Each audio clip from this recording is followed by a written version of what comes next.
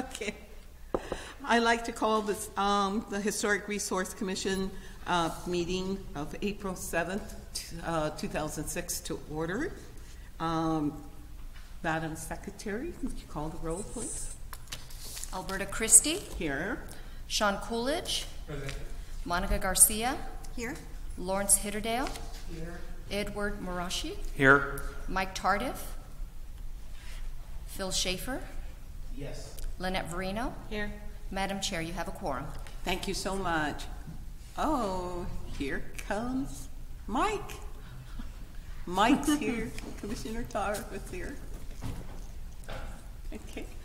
Um, Commissioner Garcia?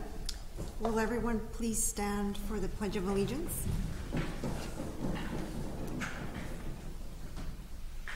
Ready, begin.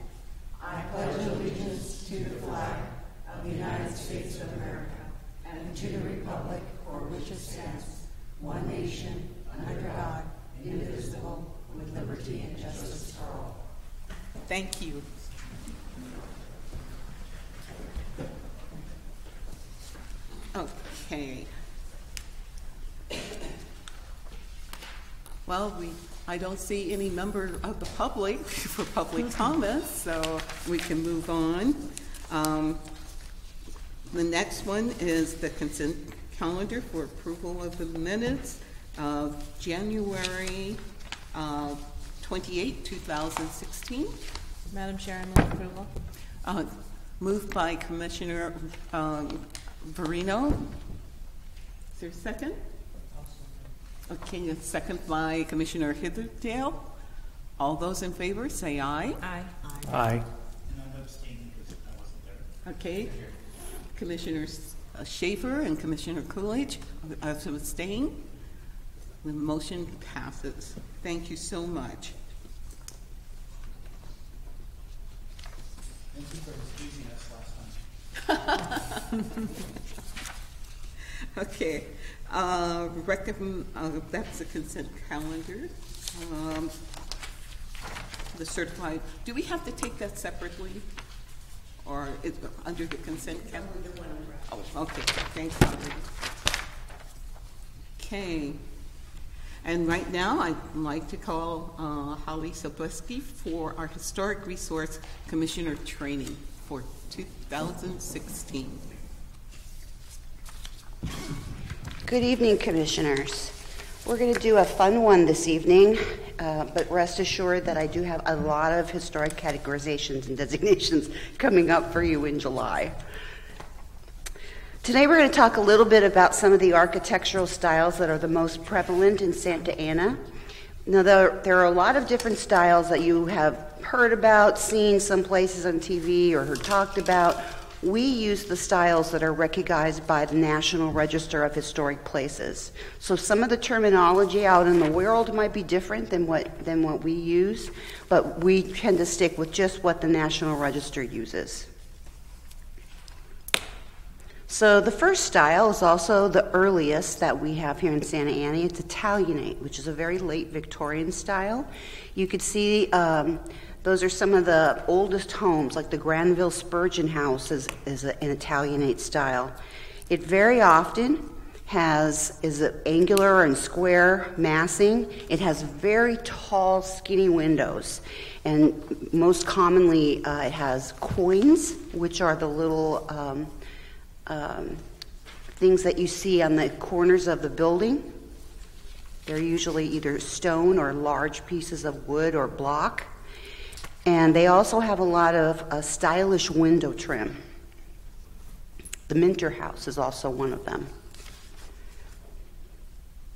Stick Eastlake, or late, is also late Victorian, and it was a very common form of architecture uh, in the 19th century. Here you could see the common thing, theme is, again, we see the clapboard siding, but they did a lot of fancy gable trim and some work under the gable ends. And you see a lot of horizontal banding on, in terms of the balusters and uh, the porch lines.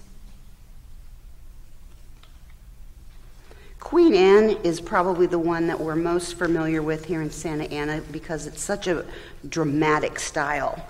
It usually has turrets and it has all different types of window shapes and styles.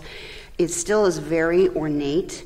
Uh, you could see at the, the Dr. Howe Waffle House, which is just a, a block away from us, that it has a lot of very decorative features around the windows, around doors, and along um, the all the um, balcony areas and things like that.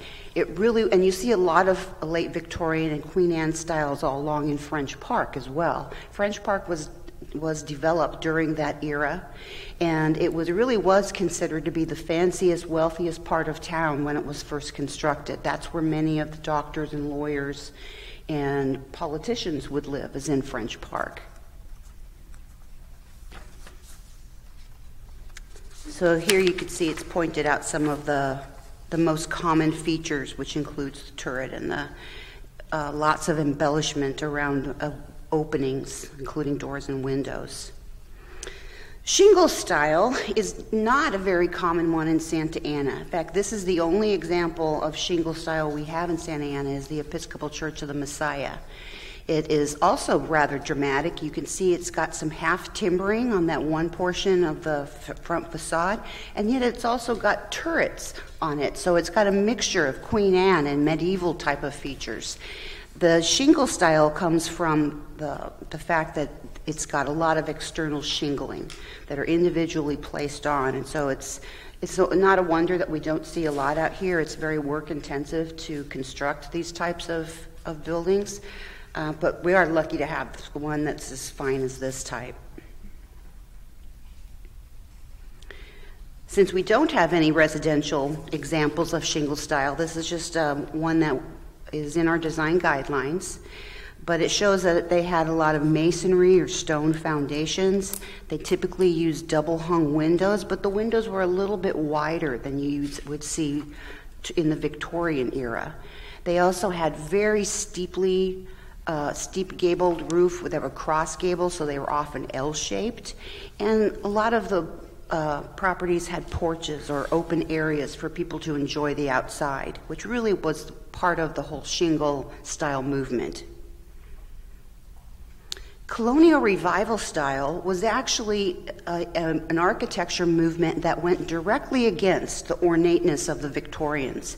It was meant to simplify, be as co- for the common man, but it's still definitely you can see these are very large colonial revival homes, but they they were meant to get away from the ornate carvings and decorations around windows and such.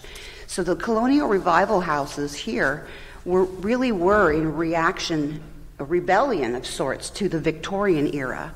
They were built in Santa Ana between 1905 and 1910. And here are a couple of examples here in Santa Ana the Armstrong House. And that one also has Dutch influences by having a gambreled roof line, which is the same as similar as a barn would have. But you can see it's a very horizontal, simple lines. The only ornateness you would see on a colonial revival would be the fenestration patterns being very similar across the entire facade. It had very simple, um, usually Doric columns in the front, in the front porch, and it had pediment features on the front porch as well, which is that triangle you see. That's the pediment sometimes the, the features would be a triangle with the bottom that the ends didn't touch, and that would be a broken pediment. But that was also very common to a colonial revival style. So you could see here is another example of just um, what makes a colonial revival, and again, it's that uh, gabled front porch, the rectangular styling. It usually was stucco, I mean, uh, clapboard siding, but it could have been brick uh, very, very symmetrical. All the, the front facade is very balanced on colonial revivals. Often the most um, ornate thing on it besides the front porch is going to be the fireplace, and you might see some very dramatic fire or chimneys on colonial revival styles. And here's an example in this drawing of the broken pediment on the side gable. Classical revival was a movement that dates back to the Chicago World's Fair in 1893. I really think I should have been born that time because this is just one of my favorite styles. Uh, it is designed to bring back some of, that's why they called it revival, bring back some of those old styles that were happening around medieval times or earlier or later that were very common period to their past, and they just wanted to bring them back, but they modernized them using some of their own features. California, in particular, uh, was fond of um, different kinds of revivals. In classical revival, you often saw a grand front entry, again with the pedimented gable, but unlike the colonial revival, you can see that it's, it's much more um, vertical uh, including that front porch. Double hung windows with six over six were very common to that time. And you could see that in this case, the, the uh, porch supports were columns that were unfluted or they didn't have the little grooves curved into the, the columns themselves. But again, it was really a very simple style, it was just somewhat more grand. The craftsman style, I think, is the most interesting and is very, very common here in Santa Ana. Heninger Park is almost exclusively craftsman bungalows, and that's why it was uh, eligible to be a historic district. The craftsman houses in Santa Ana were built between 1905 and actually a little bit later than 25, probably up to the, the 30s. But they, they were representing um, sim- simplicity in life, by bringing the outdoors inside, by having a lot of wooden features on the interior. You'll see a lot of built in cabinetry, fine, fine craftsman work on the inside and outside. And if you look carefully, you could see Craftsman was also influenced by Japanese style architecture. And a lot of people were very surprised by that. But when you look at it and you see the knee braces, which are the um, decorative wood that are holding up the gable ends. Those uh, really are si- very similar to what archi- uh, Japanese architecture. The only difference is it didn't have, typically didn't have the flared ends on the roof line. But to Santa Ana craftsmen, you would often see low-pitched gabled roofs. You'd see different kind of ornamentation like shingling or board and batten underneath the, the gable end to give it some um, to verticalize it somewhat, it would draw your eye upward. You also saw broad porches. It was really meant to bring the owner outside, to enjoy the outdoors, to sit on the front porch and watching the world go by and participate with your neighbors. They very often had um, um, exposed building elements like rafter tails would be open and sometimes decorative. But I think by far this is the most common style of architecture in Santa Ana.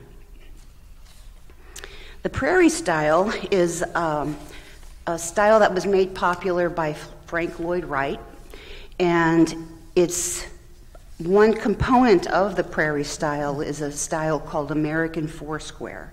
The difference between the Foursquare and the prairie style is usually that the Foursquare has a broad front porch that's or a front porch that is centered on the on the facade front facade whereas prairie style is more like the house you see on the right where it still has a porch but the building is much more um, the massing is more uh, stable and more squared off.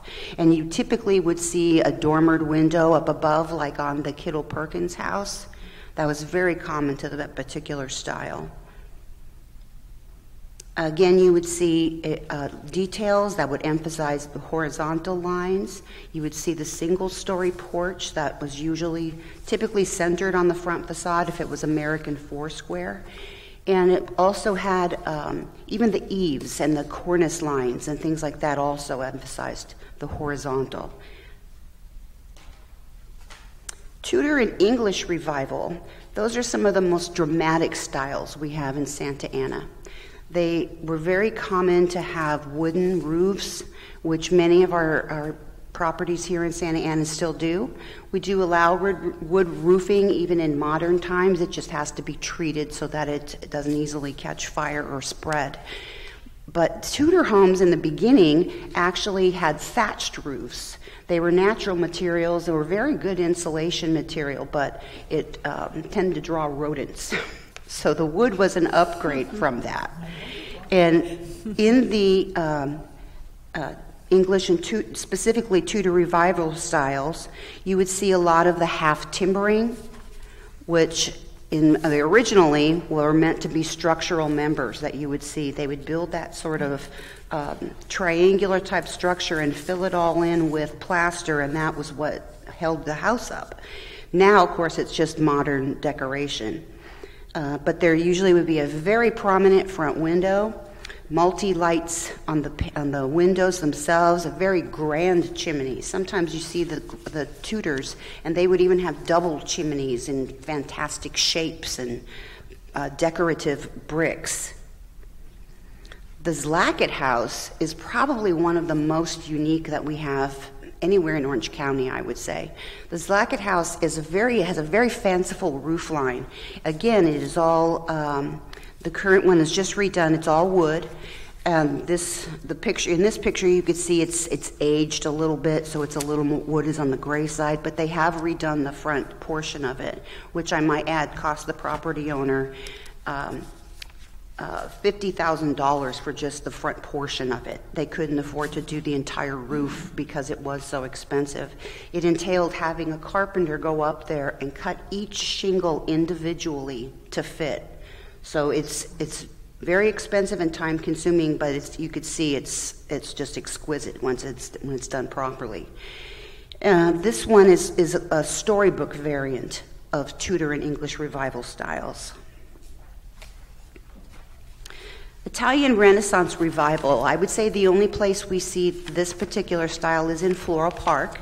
It tends to be a much larger, grander home. It, it makes use of quoins and window surrounds and door surrounds using a contrasting material like stone or brick. It's usually stucco, has um, not a very steep roof line at all because it's all about massing with Italian Renaissance. The Spencer House on the right hand side there, just to, to let you know, was our very first recipient of a Mills Act that was in Floral Park. So here you could see that they had very classic columns, very symmetrical. Um, again, the fenestration patterns, like colonial revival, were very constant and balanced, and they was a very boxy type style. Mediterranean style is also very common in Santa Ana. We have some very large ones, like the Joe Lowell, which is an unusual Pueblo variant uh, of the uh, Spanish colonial style. And we also have very small ones, some of which you'll see in um, Wilshire Square, Washington Square. Uh, basically, the two main categories of this style are going to be the mission revival, and for those that what sets those apart from the others is a large parapet. It'll usually have a flat roof with a parapet. Sometimes it's decorative the, or curvaceous at the top of the parapet. But the Spanish colonial typically has a gabled roof. Or if it has a flat roof, will have a lot of balconies or balconettes. It would have a lot of um, wood beams that again originally were meant to be structural beams that held up the second floor, but now are typically just for decoration. Here's an example of the mission shaped dormer. You can see it's got the curvaceous up at the top. And you, the uh, grills on the windows are also very common. They make good use of uh, heavy wood doors and wrought iron to decorate the, the windows and doors. Typical of a Spanish colonial, the finish on the exterior is almost always smooth, hand troweled smooth. These, these buildings were built mainly in the 1920s when the air compressor hadn't yet been, been invented. So people did the, put the plaster on by hand. It usually had a little bit more lime or something in it than it does nowadays. Now it's all prefab and you may just mix it and put it on but you still see every so often a light dash finish on a Spanish uh, colonial. And when it's done right, it looks very good, but it's done completely by hand. Imagine how work, how much work that took to make it look like it was sprayed on with an air compressor because it's so even in terms of the little bumps on top of it, but um, they were done by hand. There's several of those in, in Floral Park. Also, they usually had the clay barrel tiles or S tiles, and I'm very picky about that in design for design when someone comes in that we don't want to see someone put uh, barrel tiles on a craftsman home because it would be very inappropriate. It would be like putting a mini skirt on, on grandma. Mini skirt's good. Grandma's good. Me too. And so I, I look great in certain things, but a mini skirt isn't one of them. So um, I'm very careful about that, and I also am careful about the newer tiles, even though sometimes they they have the little wave going into them. They, they're too flat. They look too modern. They look too shiny. They don't look anything like the original clay. So on a historic home, I'm actually going to make them go and get some clay tiles and put it back. Uh, on a non historic property, I'm at least going to pay attention to the style of the roof so that we don't get something completely inappropriate. And you can see on the Spanish colonial also, you see a lot of arches and openings and multi-pane casement windows. Sometimes those are steel, which are uh, a real pain for people to try to replace now. So if you know of a good craftsman that is able to fix windows that are steel, please let me know so I can keep that in my back pocket when people need that. Modern or streamlined modern is a really a nice style that was built in the World War II years. And if you look especially at the Wagner house on the right hand side, you can see the, the portal window. And you even just looking at that particular house, you can see the, the Navy influence on it, the wartime influence on architecture. And so this is really where you can see how society itself, what's, what the world is happening in the world, is actually affecting architecture. The Maharaja House, I'm sure you are familiar with, was actually owned by the Maharaja of Indore. And just so if you don't or don't know the story, he came here and had this house built specifically in Santa Ana because Santa Ana had some of the highest quality schools in the United States. And he wanted to come here and have his daughter um, raised with this high quality schooling. Now, the uh, house is uh, owned by some, uh, a couple of doctors, and they've made some inappropriate modifications to it over the years, but I think we've gotten to a happy place and we want to stay there. But as you can see, the modern or streamlined modern typically had a flat roof style, very often had, uh, again, steel windows, um, which actually, if you think about it, was somewhat unusual because steel was very expensive and hard to come by during World War II. So this was when they you do see the steel windows during this time period. It was definitely a sign of class, of um, upper class uh, wealth, and they were flaunting it with the windows.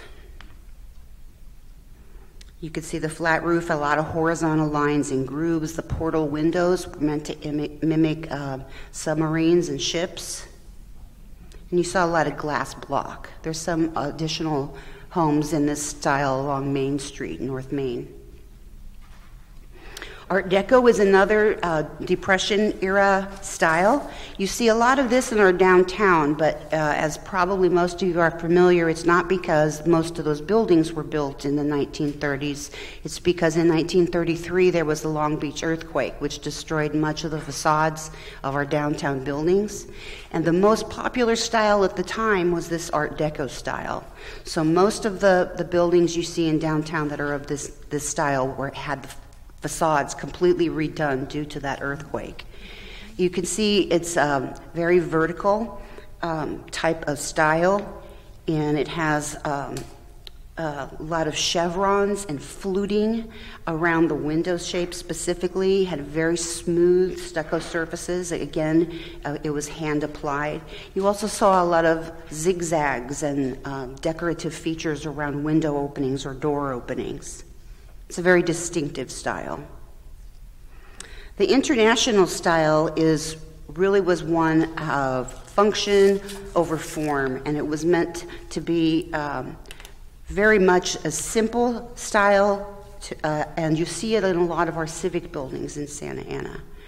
Um, the to some degree, the, the, old, the new courthouse, the, the Orange County Courthouse, is in a similar type of international style.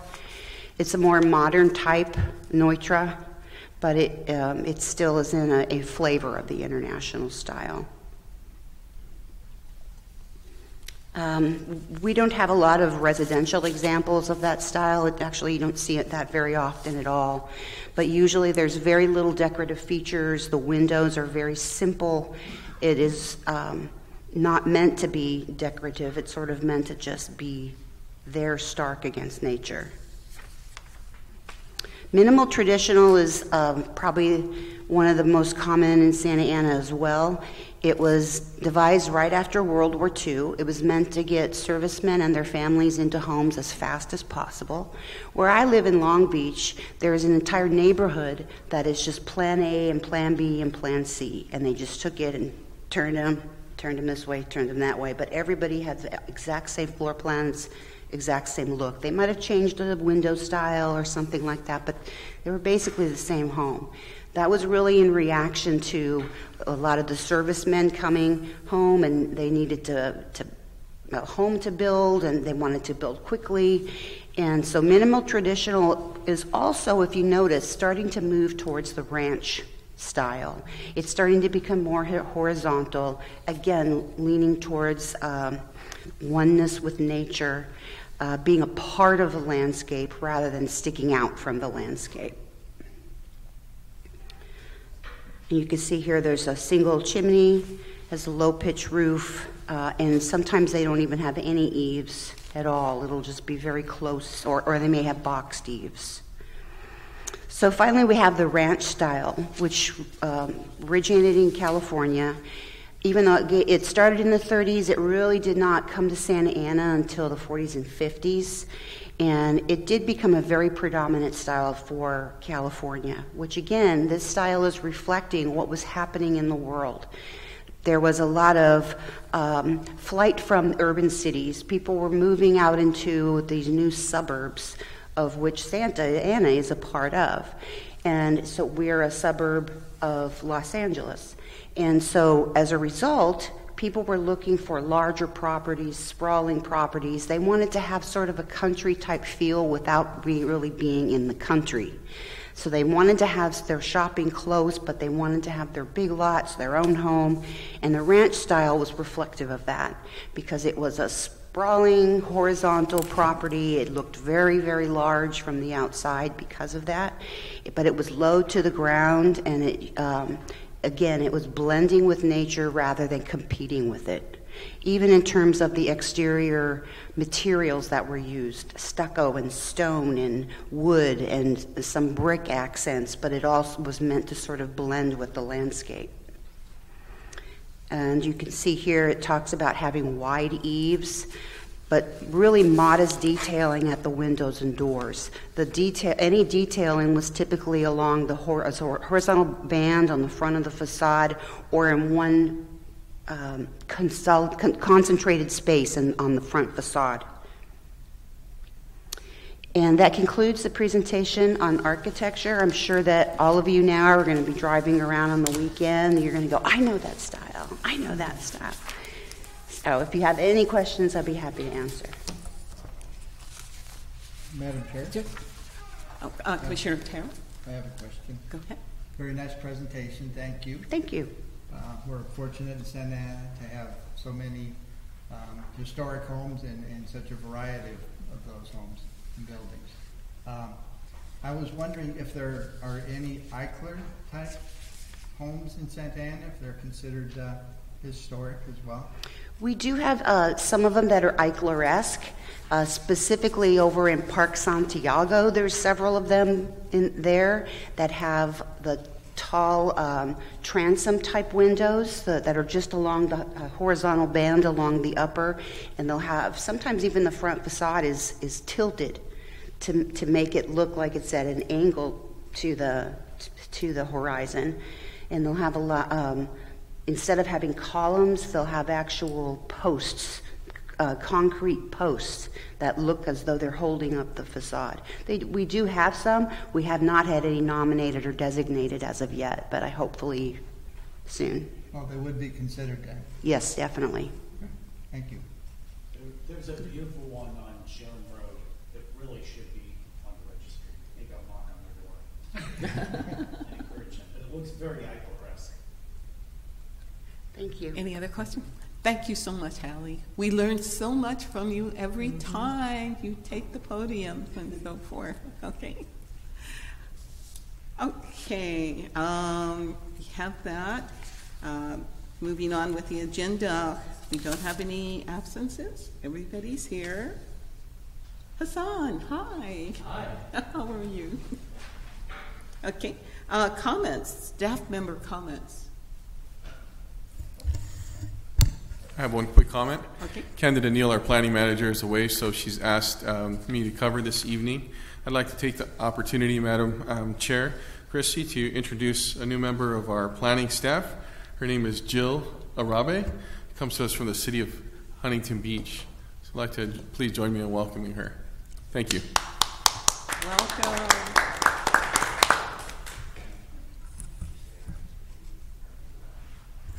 Yes, and we, we've brought her here. Uh, her expertise, her current job duties are going to be um, her urban design skills that she's bringing uh, for development projects and hopefully some long range planning as well.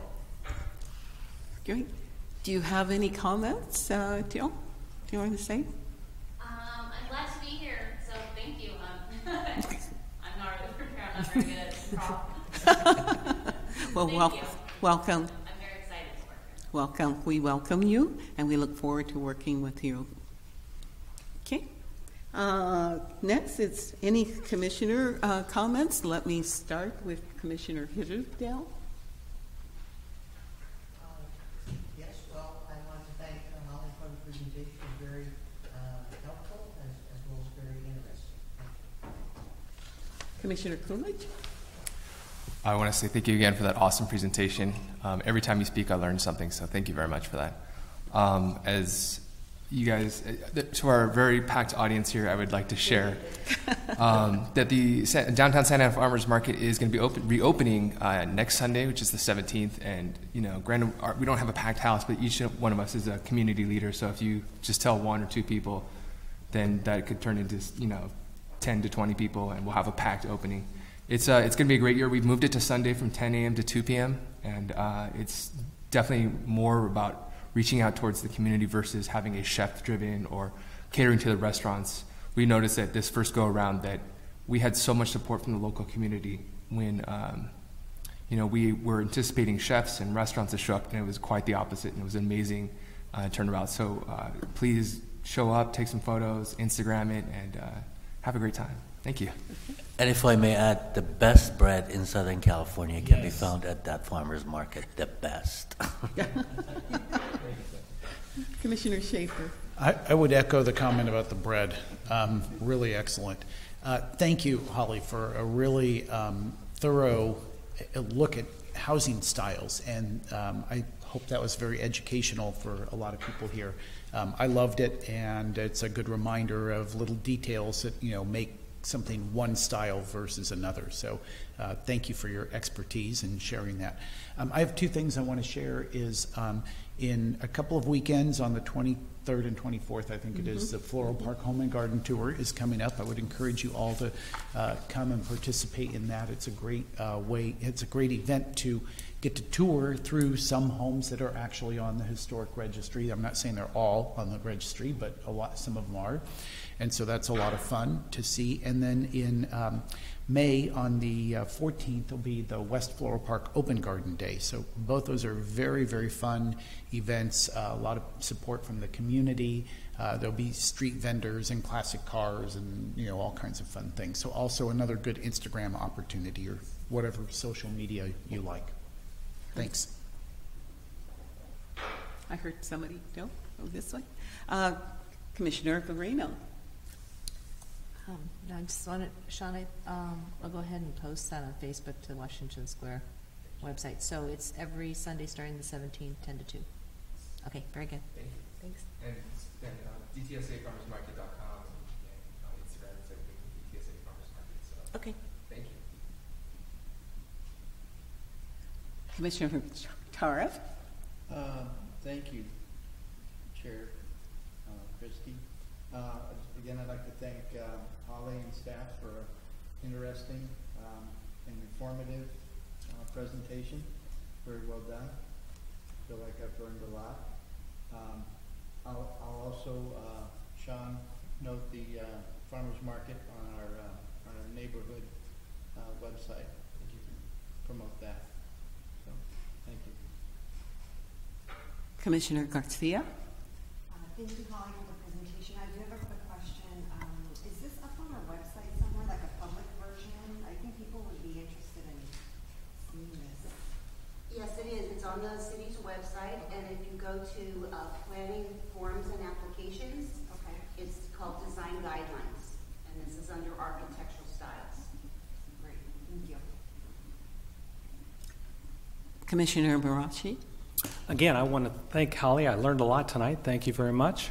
And uh, um, welcome to Jill. And uh, hello, everybody, the staff and the other commissioners, and uh, also the executive director, Son. It was great to see him yesterday over at the uh, Celebrate Santa Ana event.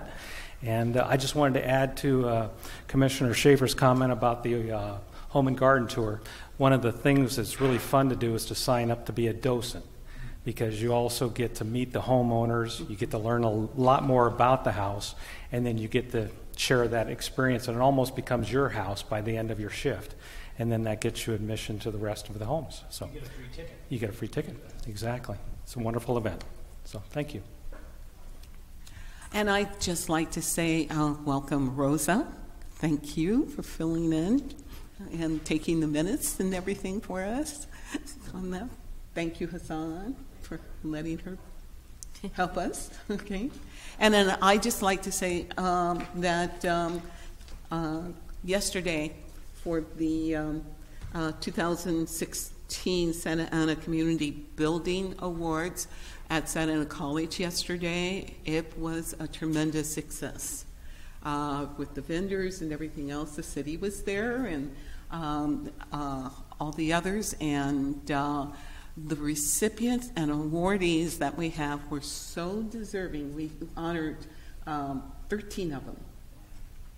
And we've uh, started the first legacy award uh, ever given in Santa Ana, and that went to Dr. Erlinda Martinez. Surprise!